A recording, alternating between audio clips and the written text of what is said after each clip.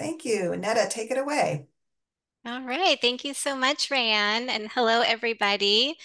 So excited to be here with you today, and thank you for your interest in Catholic Relief Services and specifically the International Development Fellows Program. Um, if you feel like it, please put your camera on. It's always easier to be presenting and talking if I can see your faces.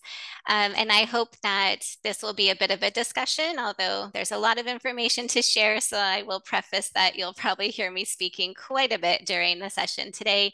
I'm really happy to have Samir with me. Samir is a recent fellow and he'll be sharing his experience as well during the call and then also helping to answer hopefully the many different questions that you may have.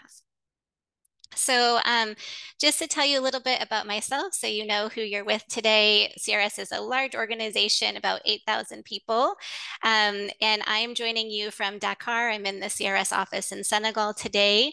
Um, I spent most of my time with CRS in West Africa. Actually started as a fellow here in Dakar 15 years ago, which I still kind of blows my mind that that was 15 years ago already.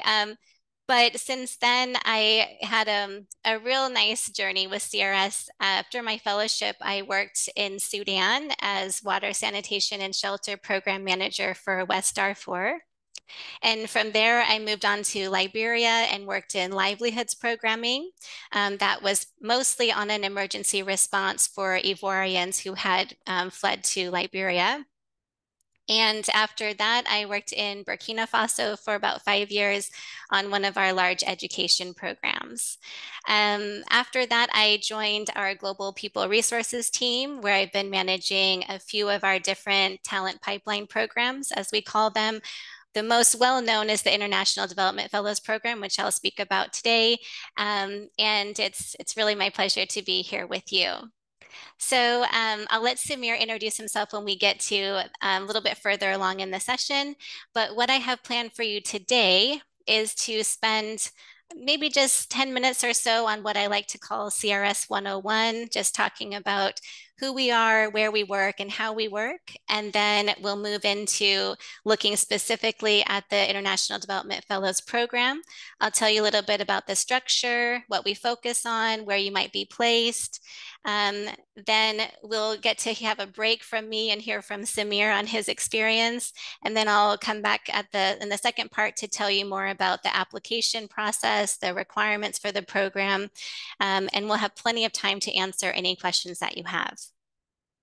So um, as we get started, I would love it if you could put in the chat if you've had any experience with CRS already, um, if you know anything about our work or you've had a chance to volunteer with CRS or you know, come across our teams in the field, for example, um, or if they're just um, any experience you have with CRS, please share in the chat and it'll be a little bit helpful and maybe you'll be able to jump in and, and contribute something as well during the session.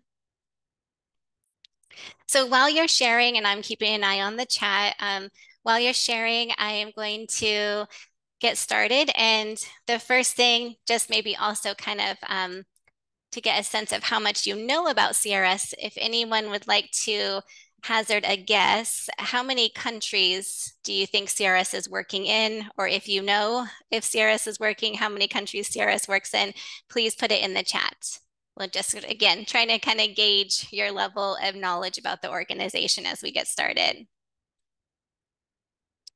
And thank you so much for this lovely share in the chat. We have someone here who has um, knows a lot of alumni um, who joined CRS through the program. Absolutely. We do have lots coming from many APSIA schools, including Hopkins program at SAIS. That's wonderful. One of my best friends at CRS came through that program, actually. Oh, good. And I see others who have encountered CRS through their Peace Corps work. Great. Oh, another Senegal connection. Love it. Very good. All right. And any thoughts about kind of CRS size and global scope before I reveal what it looks like?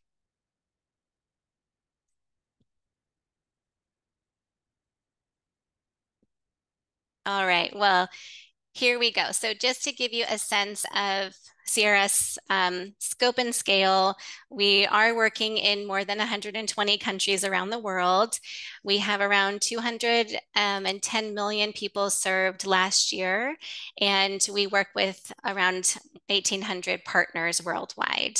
I'm going to tell you a little bit more about our partners and how we work in just a moment. Um, but just to give you a sense kind of of the global footprint of CRS to start us off. So CRS's mission is here if you'd like to read it in detail, but essentially we're focused on serving vulnerable populations overseas. Um, that is kind of the core of our mission and CRS works, as I mentioned, in many countries around the world. Um, we don't implement programs in the US. Our reason for being is really to serve individuals overseas. Um, how we do this is, um, you know, our programs take many different shapes and forms, and I'll talk about the main sectors that we work in in just a moment. Um, but CRS was founded by the U.S. Catholic Bishops Conference, and we are part of the Catholic Church. So you will see those, some of these um, principles around Catholic social teaching that you'll see in our work and sort of guiding the way that we work. They're here on the screen if you want to have a look. Um, most of them are pretty straightforward and there are different ways in which you'll see these in our work. We do serve everyone regardless of race, nationality, religion, creed, etc. Um, and um, and these principles really are very universal, and these are these are what guide sort of the way that we approach the work. I'll give you one example if you're looking at it and you're like, oh, how does that translate to something tangible? Um, let me give the example of subsidiarity. So this principle just means that the people or the person who is closest to the issue should really lead the decision around how they respond to that issue um, and what that response would look like. So we, what this means for CRS is that we always implement through local partners. Um, wherever we can find a local partner to take the lead we would work with that partner. You may see CRS doing more sort of direct intervention. That's usually kind of at an early onset of an emergency before local partners have been identified. But working through partners is really the heart of our approach. And it leads back to this important principle of who we are and the way that we feel development is best served and most sustainable. So um, now let's talk about what kind of work we do. So again, if anybody wants to try to see or if anyone wants to come off of mute, but would you like to share, you know, what do you think are the biggest sectors or what do you know of CRS as sort of the biggest sectors in which we work? Feel free to come off mute or put some ideas in the chat.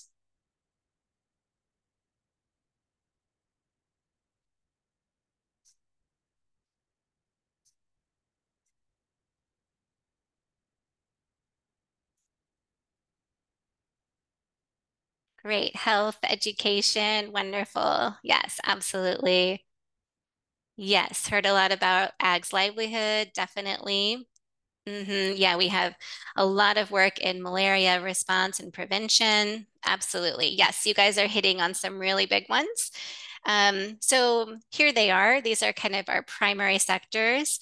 And um, what you'll see is that in most country programs, we have really a full package of programming that will touch on multiple sectors and many programs that will be multi-sectoral programs where you'll have a health component in education. Um, for example, the last program that I managed in Burkina Faso, I said was a large education program, but it also had a health and nutrition component for the students. It had a WASH component. It had a microfinance component for parents, um, you know, et etc. So most of our programs are really large and integrate many sectors. Here is um, an adorable picture of donkeys.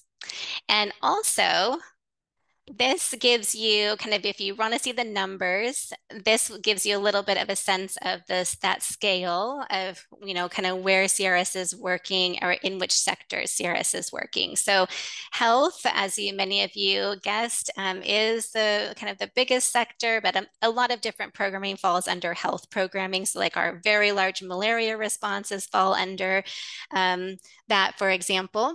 Um, but then as you'll see, you know, there's many, many other sectors that CRS works in, and there are others that that are not are not on this slide. But this is just to give you kind of um, a, a sense of those main areas in which CRS is working today. These numbers are from our 2023 annual report. Okay, and um, then the next thing I wanted to just touch on in the CRS sort of 101 sector is why do people work for CRS? So um, we have, as I said, a very large um, global team. About 85% of that global team is from the countries in which we're serving. Um, so the CRS staff come from all different backgrounds, religious traditions, non-religious traditions, and um, we really come together around our guiding principles and our common mission about serving the most vulnerable. So why do people choose CRS? Why do we stay? I think if you talk to people, you'll hear a lot of kind of themes in the reasons why they love working for CRS. Of course, you know, the work is so meaningful, that kind of goes without saying. Um, it can be a bit of a double-edged sword sometimes because, you know, it's so important what we're doing that you might really find yourself working a lot. So we have to be careful of kind of finding that space for ourselves and maintaining our own well-being because we're so driven um, to kind of provide the best programming as we can for our program participants. Um, but it can be exciting work. Um, it can be very, it's very varied work, you know, depending where you are and things are constantly changing. Um, so for those of you who really like to be constantly adapting to new situations, this is gonna be your line of work. Um, our global team is amazing. I think some of my best friends are CRS colleagues from different countries. We really tend to farm strong relationships um, and really feed off of each other's motivation for the work. We are known for being a learning organization. Uh, the Fellows Program is a great example of this, where we offer this 12 month program that's focused on learning and preparing for onward roles. But of course, most of our global team do not come to CRS through the fellows program. And we have a wide range of opportunities that are available for staff. Um, we have a lot of more traditional learning opportunities through courses with leading content providers or funding for additional certifications or degrees. Um, but we also do a lot of practical hands-on training, um, which is what I'll talk about during the fellowship. But for regular um, staff as well who are not coming in through the fellows program, we do a lot of practical training as well. Um, as a learning organization, we're also very open to learning from failure and what doesn't go well. Um, if we had time, I'd share some examples of my biggest failures in program management.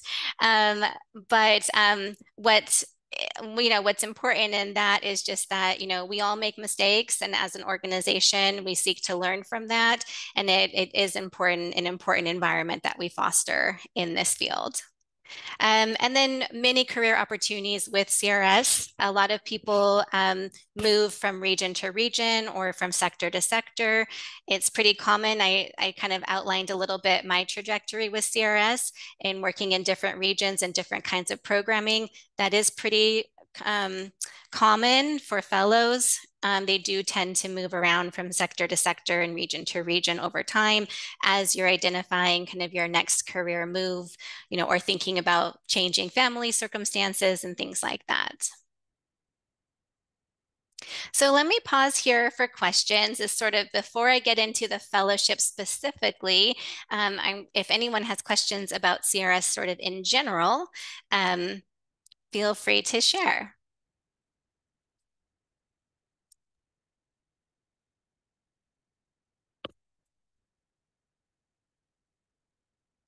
Netta, I'm, I'm waiting to see if somebody asks the obvious question because I get it all the time. Um, and I'll ask because I have a feeling we have some shy folks on the line here. Uh, do you need to be Catholic or is it an advantage to be Catholic to work for CRS or to apply for this fellowship?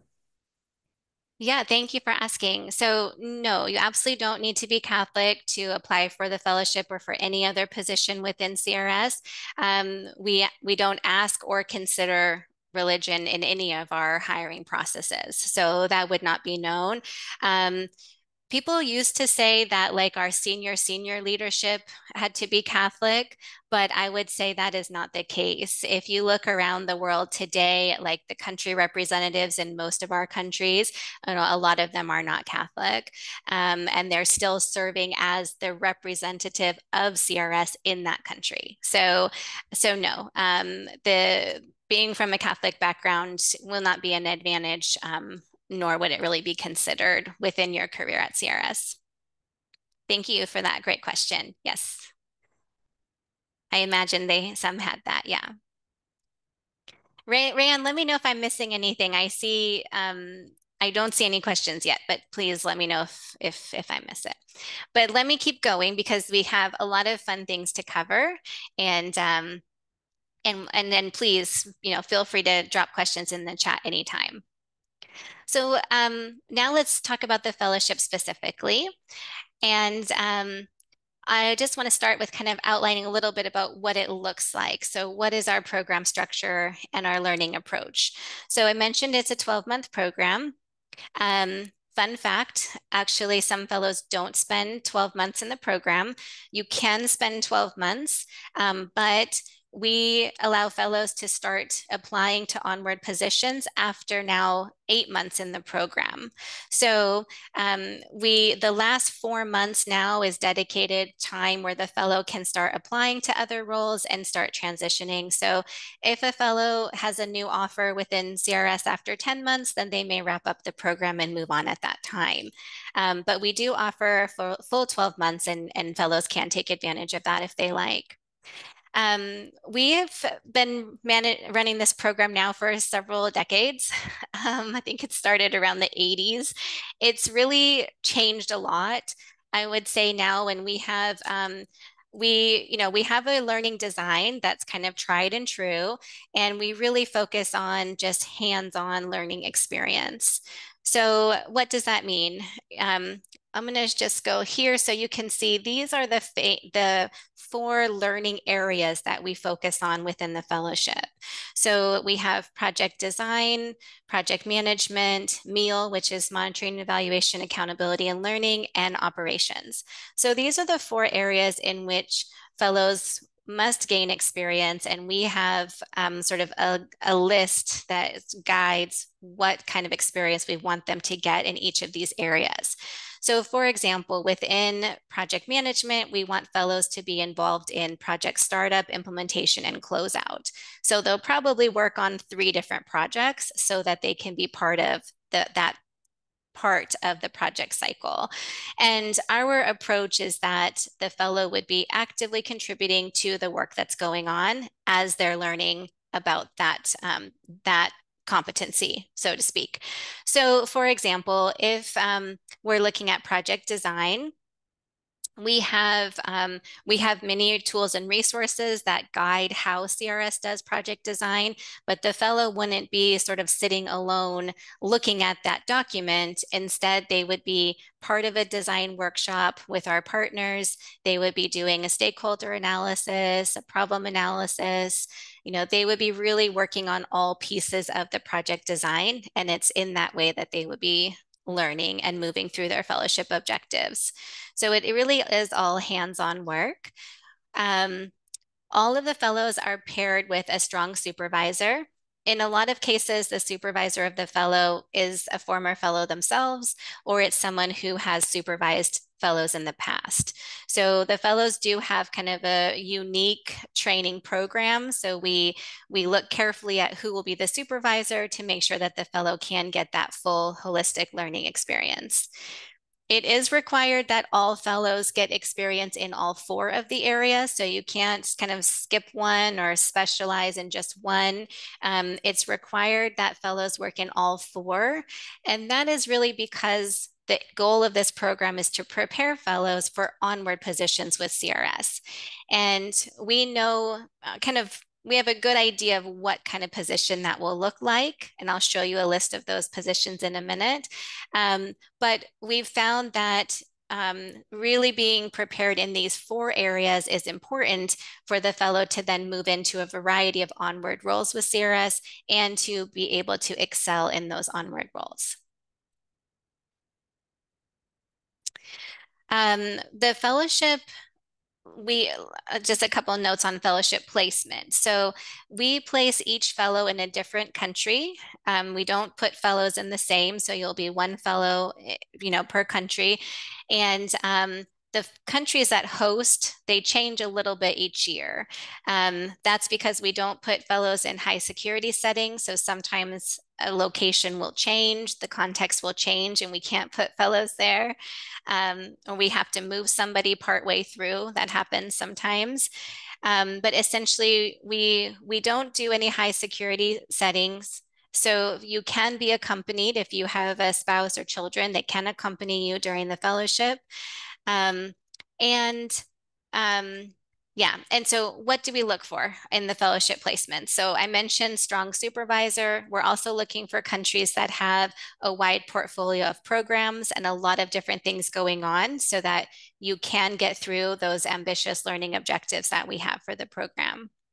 Um, when you apply to the program, you would apply just to the fellowship in general. So there will be no location attached to it on your application. And um, you don't really have the opportunity to, to tell us which country you want to go to. However, there are a couple things that will influence your placement. So the biggest one is language. Um, some countries require French or Arabic or wants, you know, basically fluency in Spanish, for example. So um, we won't place fellows in those countries unless they have those language skills already. So that may influence your placement. Um, the other thing is if you're traveling, you know, with family, then, you know, that may change a little bit as well, the placement that we look at for you.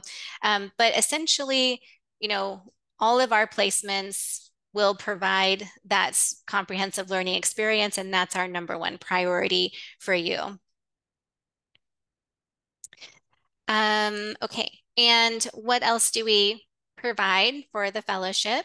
Um, fellows are regular salaried employees. That means, you know, you have your regular annual salary and you also have benefits and allowances. So benefits are things like health insurance, retirement, things like that. And then allowances are things like cost of living allowance or rest and relaxation, depending on your post. So um, I won't really get into the details of those things, but essentially, as regular CRS international assignees, you have all of the benefits and allowances that go along with that. Um, oh, leave is here on the slide, you can see. So we do have, um, I think, a pretty generous leave plan um, that includes vacation days, sick days, holidays, personal leave, etc. And then for fellows, we provide furnished housing in your location. This is usually a house or an apartment not too far from the CRS office. Um, CRS will cover the kind of basic utilities and functioning of your house. Um, and CRS will also provide your transportation to the location, get your visas if needed, etc., um, for you to be able to work there. Okay. Okay. And then here you have um, a, this is a, just a list of all of, sorry, I'm not sure if you're seeing the top of it, but um, this list here is just all the positions, example positions that fellows moved into right after the fellowship. So um, we, as you can see, you know, MEAL is a big area. A lot of times we'll have fellows move into MEAL project design and proposal development, which we call business development. Um, that's another area where a lot of fellows will go after the program is over. We also have a lot of fellows that move into emergency response. And then we have many who will gravitate towards specific sectors. So let's say, you know, you're a health person, then you might look for a health related program to manage after the fellowship. Um, so this is just a little bit of examples. You can see what are the kinds of areas where fellows have gone this is directly after the fellowship and then in kind of the variety of countries they might go to around the world this is just the first role. So after that, you know, we'll see fellows kind of moving on and progressing in their career with CRS. Um, most fellows tend to go sort of on a more general track where they move into positions like head of programming and other leadership roles in the country program. Um, but some fellows will go a little bit more technical and may join our more technical teams working in specific sectors. Um, today, as I mentioned, the Fellows Program has been around for a long time. Today, we have a lot of former fellows who are in leadership positions at CRS, and we just have a lot of uh, former fellows who are all around the world with CRS. So it's a nice network to be part of. Um, you'll certainly encounter them during your fellowship and after, and former fellows are kind of always excited to share advice and um, hear about your journey and give you some, you know, career ideas as well. So um, the Fellows I think, is a, is a really nice thing that we have at CRS. And on that note, I'm going to hand over to Samir and let him tell you a bit about his fellowship with CRS and um, what he's been doing post fellowship. Samir, over to you. Great. Thanks so much, Neda. Uh, hi, everyone. My name is Samir, and I'm uh, from Nepal. I'm currently a business development specialist with CRS in the Democratic Republic of Congo. I was a fellow in the 2022-2023 cohort, which was pretty recent. Um, but I was in, so I was in your position uh, not too long ago. I applied to the fellowship uh, during my second year of grad school at Columbia SIPA. Um, I was really happy to, you know, just get through the uh, extensive selection process um, like Neda said, we couldn't really choose in terms of you know where we were placed, but I had expressed my interest in being in West Africa because of my French-speaking uh, capabilities and also my interest in uh, being part of a country program that had a mix of development humanitarian programming. So uh, being placed eventually in Niger was uh, kind of a great opportunity for me because it kind of had a mix of everything I was looking for at the time. Um, so yeah, after a few months of uh, learning about my placement, I moved to Niger, to the capital, Niamey, where I was based for a year with occasional occasional travel to to different field offices. Um, so in terms of kind of you know summarizing my fellowship experience, I wanted to kind of uh, basically use the four learning areas as a way to structure and share um, some of the more specific things I did within those areas. Um, and then would be happy to ha happy to answer any specific questions uh, later on as well. But uh, in starting with uh, business development, project design, and, and development, um, you know, this was uh, one of the first things I got involved uh, in, especially uh, through being able to support the business development specialist that was in this country program already to develop a concept note for a uh, internally funded uh, learning focused uh, pilot project.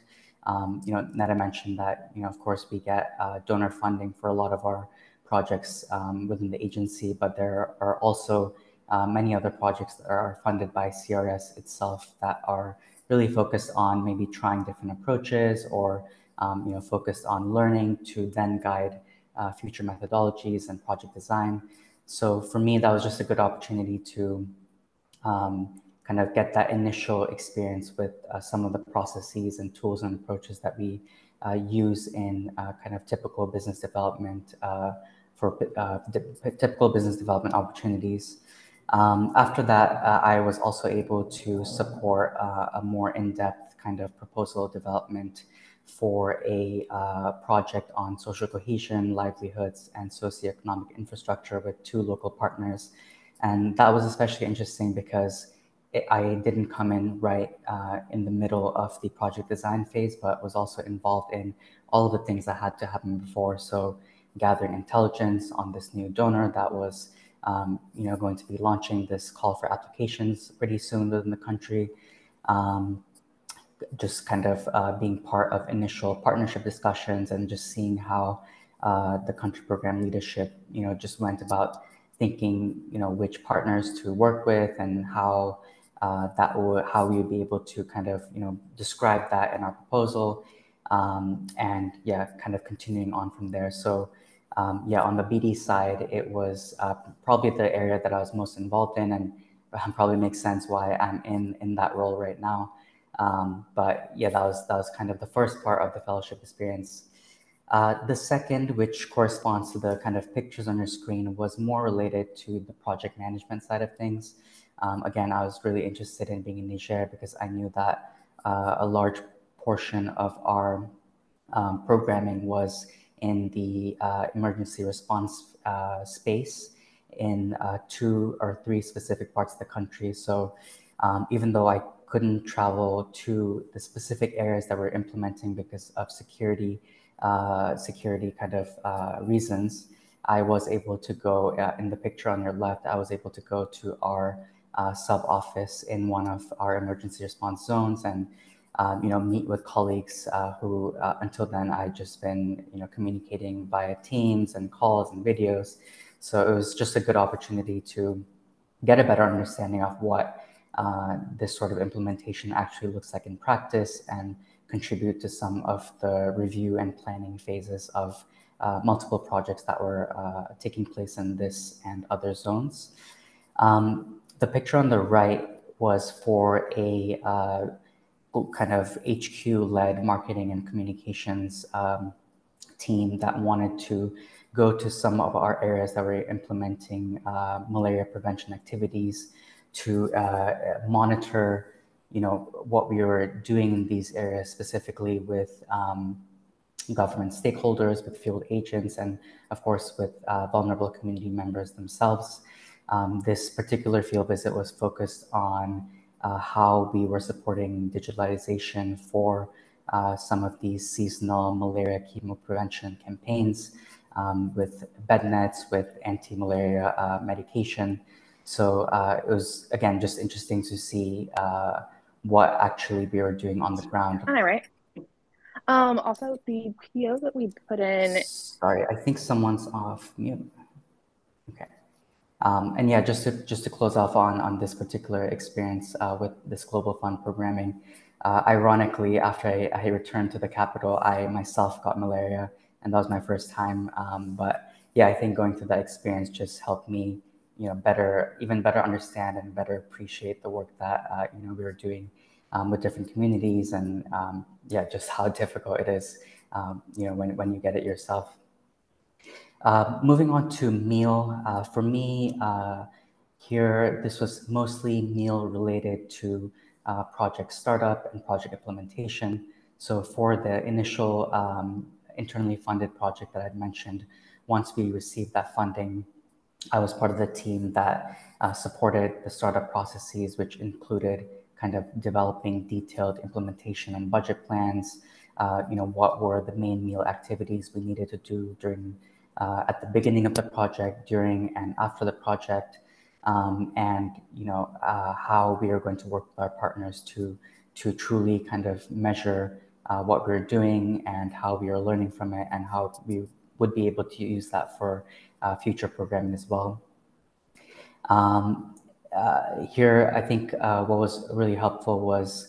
Um, again, being able to work directly with know colleagues who are based both in the capital and in the uh, field uh, who are collecting you know this information uh, on a daily basis and kind of just better understanding again what so sorts of tools and methods and approaches that um, CRS uses to uh, kind of you know monitor and uh, evaluate our our programming. And lastly, in terms of management quality um, and operations, I really got the chance to get a better understanding of what our colleagues in procurement, in human resources, in security and finance did in terms of their day-to-day, but also in terms of um, you know how they were supporting particular projects. Um, I think that was important because uh, you know whether right now in my BD position or in the future, um, I don't think that I will be playing kind of a direct operational role, but um, in whatever programming uh, role that I am in I think it's really important to have the understanding of what operational colleagues uh, are doing and how that uh, coincides with um, you know different types of uh, programming and BD and MEAL and uh, kind of all the other aspects uh, that fall under the programming uh, lifecycle. Um, in terms of kind of broader reflections, I think for me, the best part of the experience was just getting the chance to uh, live and work in a new context and to really learn from experienced colleagues.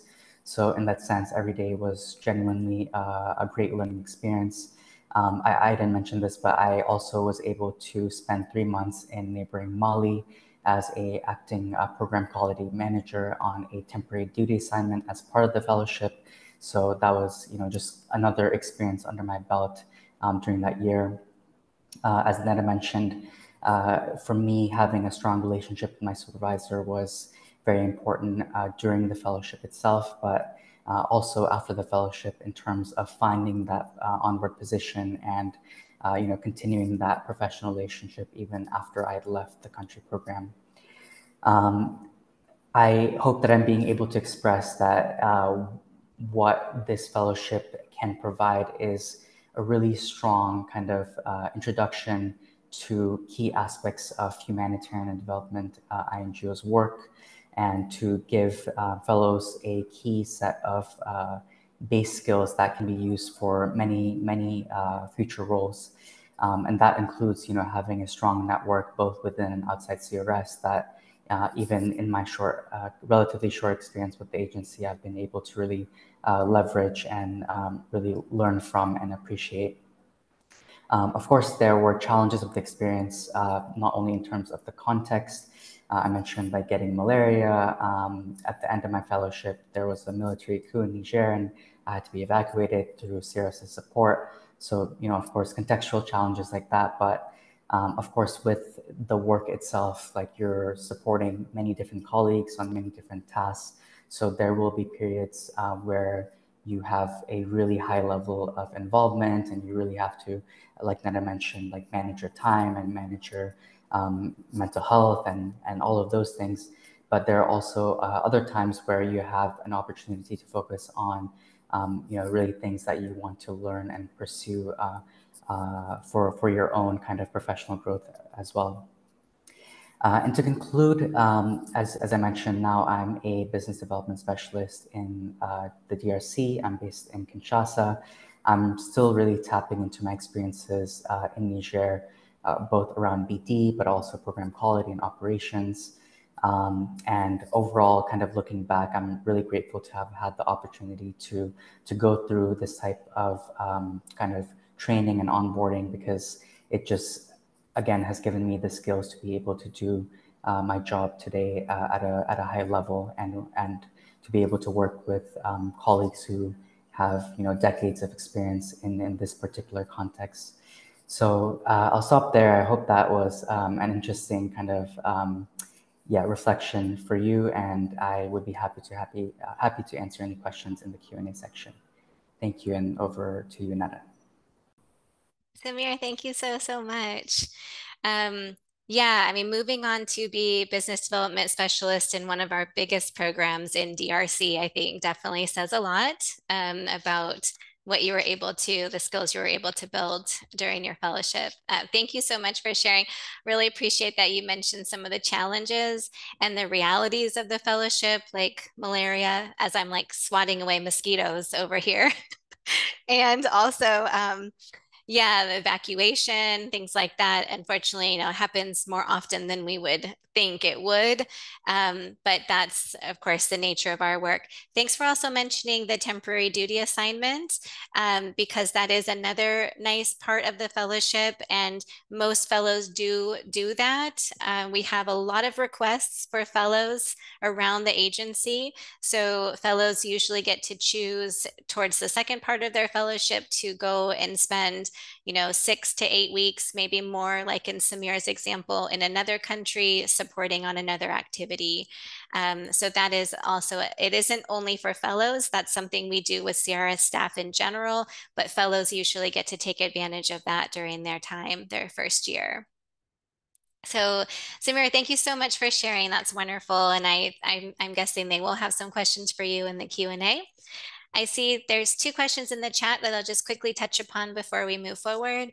Um, the first one is asking if fellows are placed in thematic areas of concentration within their country program, meaning do they work within emergency, health, etc., and is that based on their background and experience? So um, essentially, no, we don't match fellows with country programs based on the fellow's previous experience in a certain sector or the programming happening in a specific country. The reason for that is because we want fellows to focus their skill building on those four core areas, the project management, MEAL, etc. And um, we, we, we don't want fellows to get sort of siloed into just working on health and kind of just being you know focused on one sector so essentially as fellows are working through those four different skill areas they tend to bounce around and work on different kinds of projects. So you heard with Samir talking about social cohesion projects and others that's that's what it will look like. So um, you'll work on you might work on a health project when you're doing some MEAL activities, and then you might move over to an ag project to work on you know some project management things, right? So um, you won't you won't be focused on a specific technical area, but you will certainly get um, more familiar with those large areas where CRS works because you will see those sectors present in almost all of our country programs. Um, sometimes fellows will have a choice if, let's say, there's a similar activity happening on a health project and on an ag project, they could say, oh, I really want to learn more about health, so could I do the activity on that project? Which, which they, you know, that's definitely fine and doable, um, but we don't factor your interest in a specific sector into the placement process. Um, and then the second question was, does CRS provide funding for local language training? This um, essentially, no, this is not a focus area for CRS um, in terms of staff development. Where CRS does invest in language training is for languages that are spoken more in multiple countries, like French, Spanish, for example.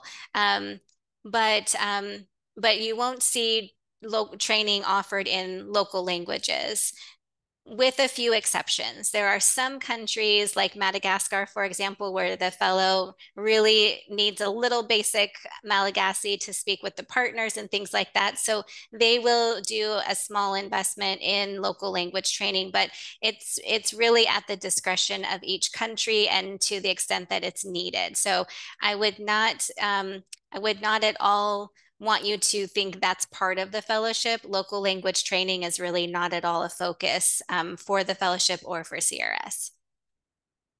Um, but certainly something fellows may do more just kind of on their own, right? As you tend to be eager to get to know your community and, and things like that. Um, yes, and then the last one here is the program geared towards postgraduate or can it be pursued concurrently in grad school in DC? So um, that's a great segue into this next section on the requirements for the program. Um, but we do require that your graduate degree be complete by the time that you begin the program. Um, you will be working full time overseas, like a full time staff. So um, you do need to have your graduate de degree completed. There are staff who will pursue other advanced degrees while they're with CRS, and you could do that, but you do need to have a graduate degree to meet the qualifications of the program. And um, I'm going to mention a little bit about timing too, which is important. So if you are our application just opened yesterday. We do one annual um, application a year, and it will be closing on November 1st. So um, that this application that's open right now, this is for the class that will begin next year in August. It's a, it's a long timeline between application and program start.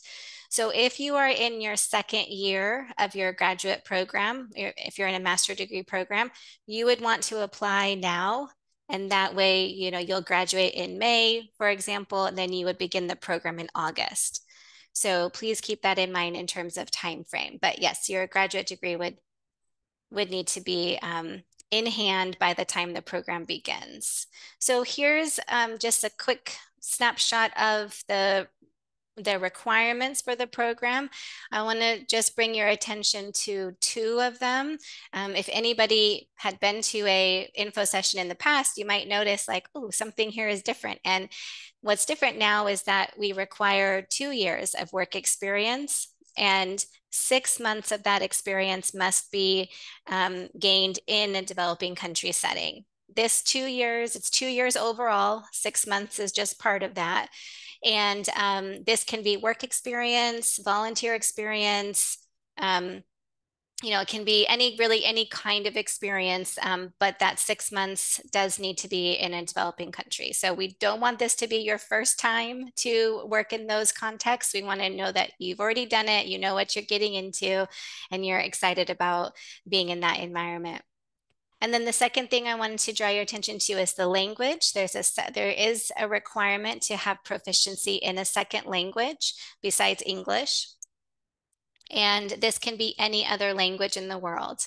So um, you will tell us what is the language that um, you're proficient in. And as part of our selection process, we will test your proficiency in that language. But we can accommodate nearly all languages. Um, they will all count. Um, we you will see here we have a slight preference for languages like French and Arabic. That's because we need those languages for many of the countries in which we work. So um, if you speak one of those languages, it may give you a slight advantage, but I really don't want anyone to be discouraged because it's really rare that the decision and who we hire would come down to which second language you have. So, you know, it's, it may be a slight advantage, but it's really, you know, negligible. Um, also, can we do need candidates who are willing to work anywhere in the world because, as you know now, you don't get to choose your fellowship location. And um, also very important is that individuals of all nationalities can be eligible for the fellowship. You do not need to have work authorization in the US. You won't be working in the US. We will be getting you work authorization for the country that you are assigned to work in. Um, yes, and then here's another great question. So, um, what percentage of fellows sign on for longer roles with CRS beyond the fellowship? So each year we hire usually around 12 fellows, and um, we look at this number carefully because our goal is to retain these fellows, and we don't want to bring on so many that we won't have enough roles for them to move into at the end of the fellowship. But at the end of the fellowship, essentially fellows will be given the green light to go ahead and start applying in that last four months of the program. And um, they will compete for any opening that they see within CRS. Um, our experience is that most fellows who wish to stay with CRS are successful in finding an onward role. Usually it's you know of the 12 usually there's usually there's one or two who will decide either you know for personal or life reasons to maybe relocate back to their home country or to go to another organization. Um, but the vast majority of the group you know upwards of 80% every year will decide to continue with CRS and they will be successful in finding onward roles. It's not always like very quick and easy. It is a process. Probably one of the most challenging parts is moving into the onward role because, you know, you don't know which roles are going to be open at that time. You may have to push yourself outside your comfort zone and apply to things you didn't really envision for yourself. Um, but most fellows are successful in doing that. Um, there is this, there is no requirement in terms of how long ago you um, you got your degree in which you would be eligible for the program. So um, you can have finished your degree five years ago, 10 years ago, you can apply. Um, we don't have any criteria around when you graduated we have, I'd say on general, fellows have around, on average, it's about three years of experience, work experience. So, and some fellows have much more. They, some worked for five, six years and then went and got their graduate degree and then joined the program. So um, it really varies and we don't have any um, criteria around that. So um, just quickly looking at the application and selection process, I mentioned the application went online yesterday, so you can see it, access it now.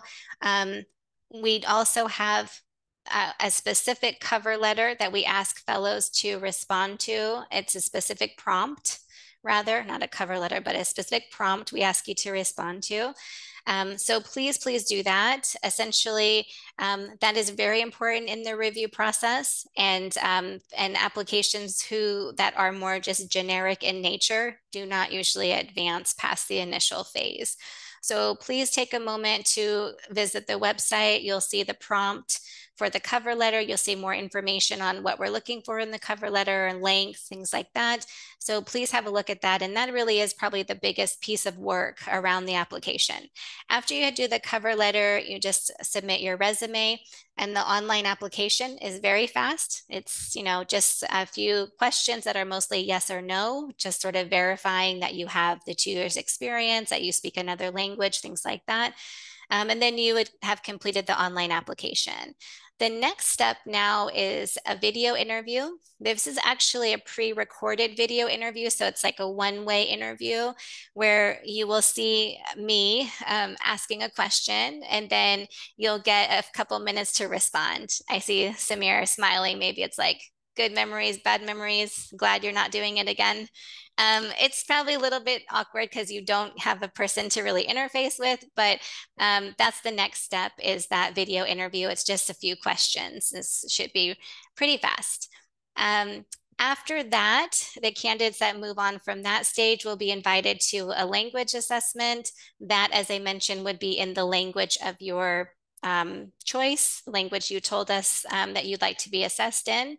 We'll, we'll organize that. It's just a 20 minute um, oral assessment. Um, we may or may not do a phone screen in there at some point. I leave it in there in case we decide to add it to the process. Um, but the, and then the final step is a virtual interview. The virtual interview will do a few different things to get to know you better during that interview, and you'll interact with a lot of different CRS staff during that time as well. And then I mentioned kind of this long timeline. So here it is just for your reference, but essentially um, as the applications start coming in and it closes in November, from November to January, um, we'll move you through the different parts of that process. So if you'll move into the video interview, the language assessment, and then by February, we'll be at the interview stage. Um, then really quickly after the interview stage, we extend offers. And then over the summer, we do a medical clearance process to make sure that um, you know, it's okay for you to get access to the services and things that you need in your post um, of assignment. And we get your visa, your flights, all of that worked out over the summer. And then in August, we begin. So let me stop there and it, and I mentioned the website a few times, but here it is, the link to the website. Um, and um, that's where like, you know, a lot of what, what I've been sharing around the application process is there available for you. So um, we have just under five minutes. I wish I had a little more time, but I'd love to hear if there's any other questions. Okay, I think I see one in the chat. Oops. Let me scroll up so I can see the whole thing. Okay, so with the six month experience in developing country, could I elaborate? Okay. Um, okay, so yeah, I um, I used to have a, so essentially what we're looking for there, as I said, is we're kind of trying to make sure that people um, understand the context of living and working in a developing country. So individuals um, who are from a developing country automatically meet that requirement. So, so that, um, you know, you wouldn't need to have had work experience there. However, you will still need to have the two years work experience overall. So you will have had to, you know, had some work experience maybe in another country. Let's say you worked while you were in grad school in the US and you're from Kenya, for example, then you would meet the requirement in that way. Um, so I hope that that helps to answer the question. Yeah, and then, okay, so the next one, yes, internships. So the next one is elaborating more on what the two years of experience would look like. Would internships count? Yes, absolutely. So internships, volunteer experience, um, even like living and studying or doing like research in another country um, or just anywhere for the two years of experience all of that would count. We're we're pretty open to you know the experience in terms of what that looks like. We're really trying to find things that are relevant to the work that you would be doing as a fellow or with CRS but it doesn't have it doesn't have to be. Yes thank you for this next question. It can be really in any field. That's absolutely fine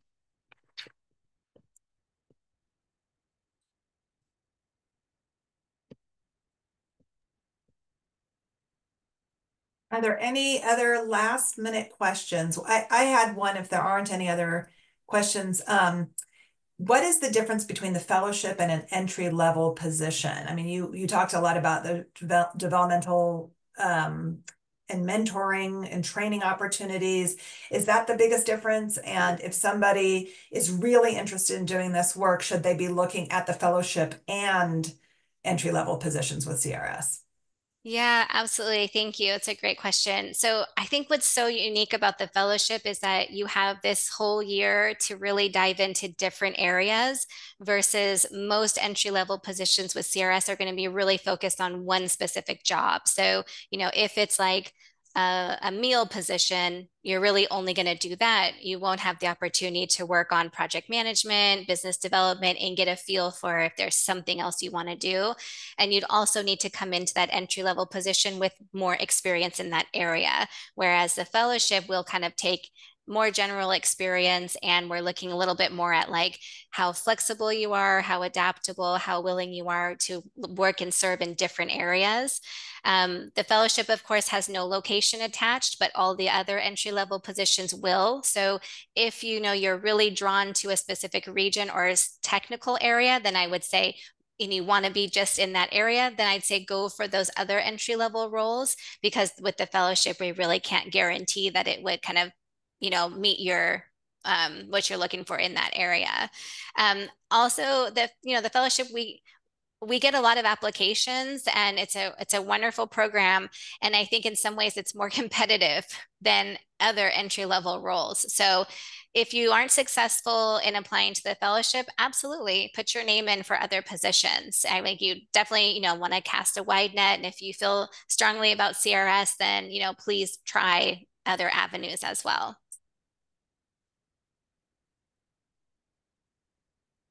that takes us to time. I want to thank you, Neda and Samir, both of you so much for sharing your experiences with us and telling us all about the program.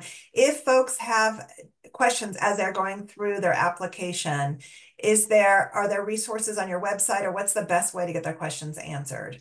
Yeah, absolutely. So there there is a large FAQ section on the web page. So please start there. Um, there's an email box I'm not sure if my whole screen is showing. It's on the top. It's idfp at crs.org. Okay, so they can um, they can also email there if there's something that's not answered on the website.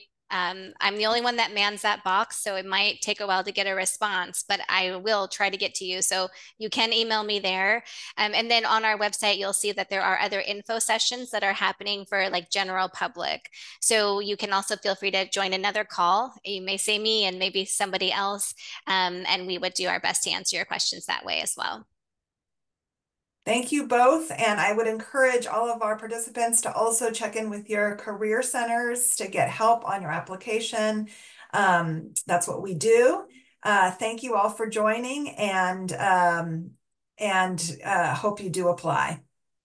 Thank you so much. I hope so too. And wishing you all the best, regardless of which organization you go to next. Thank you so much for coming. Thank you for having us, Rayanne. Thank you. Take care. You too. Thanks, Samir.